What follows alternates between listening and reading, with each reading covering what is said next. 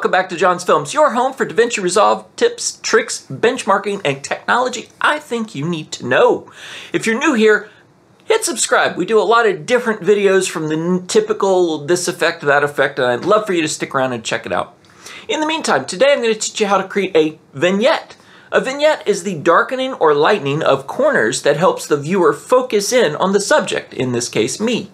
We can alter the vignette by growing it, shrinking it, making it darker, making it brighter, or even feathering it in and out. So let's get into Resolve and find out how to make it happen.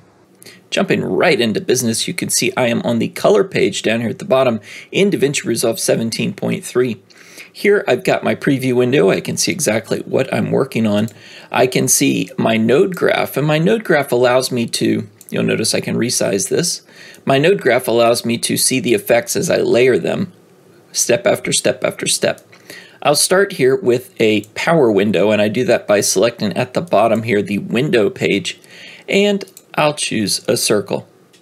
This allows me to now dynamically change it, so I can make it feather in and out. I can grow the circle, and that's just what I'm going to do. Further, I'm going to make it wider and what I'm looking for here is my distance from the corner in and to the end of this feathering. So make that a little tighter for the moment and pull down here to not leave a weird shape. If I'd like to scroll out, I can. So this is the scroll wheel mouse in and out. I'm going to do that so that I can see exactly what I'm affecting around. Again, my goal with the vignette is to highlight me as the subject, draw people's eyes in. So I'll keep it centered on me here in the middle of the frame. And now that I've got my power window set up, I can affect either the inside of that power window with my color nodes. See how it's all darker? And I did that by coming down here to my offset wheel, grabbing this horizontal bar and swinging it to the left. I'm to swing it back to the right. In fact, I'm just going to hit reset right there and make sure I'm right there at 25, which is its starting point. I don't want to affect the inside though. I'd like to affect the outside. So here in the middle bottom of the screen, you can see the mouse. I am going to hit the invert button. This inverts my mask. And in fact, if I really wanted to see what's masked up here in the top left, I can click highlight. And now I can see what I'm going to affect by adjusting any of the effects against the node. I'd really like to have my effect separate from my mask though. So here in my node window, I'm going to select my current node and hit Alt S or Command S on Mac. And the Alt S here on Windows has added another node to it. I'm going to connect this blue bar from one node to the next. And what that does is it tells it carry the mask over. And that's handy because now I've got a node here and I'm going to type mask and I'm going to name, if you haven't set up any hotkeys for this, you'll need to come in, right click and go to node label. I've set up a hotkey for tab.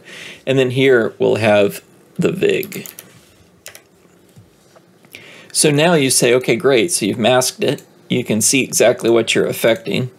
And what do you want to do with it? Well, I'm going to take my offset wheel and again drag it down and all of a sudden you can see I can get a really tight or a really loose or even brighten it up vignette here.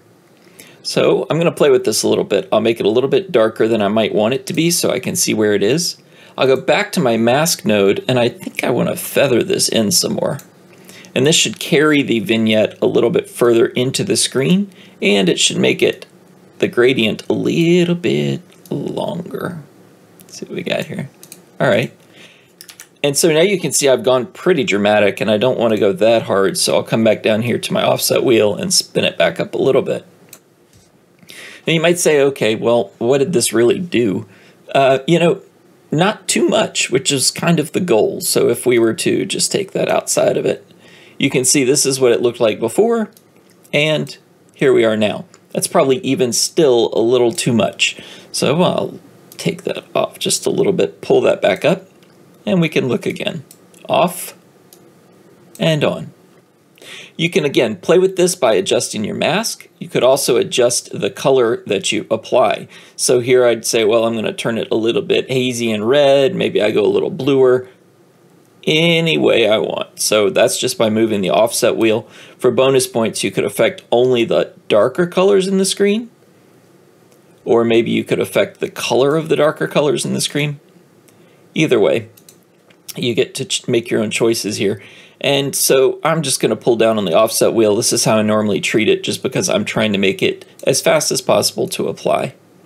And if you really find one of these that you like, here in the gallery, you're able to right click on your image and click grab still. What this does is it saves the look. So if I came to another clip, which as you see does not have it, I can come to my gallery and drop it on top and I now have my grade and my look already set up. So that's a good way to carry a look from one page to the other, kind of a bonus tip, but it works really well with vignettes because you see exactly what you're getting. And that's how you create a vignette. Thanks for sticking around for extra bonus points. See if you can figure out how to make this effect happen. Oh, all right. Well, thank you and have a great day.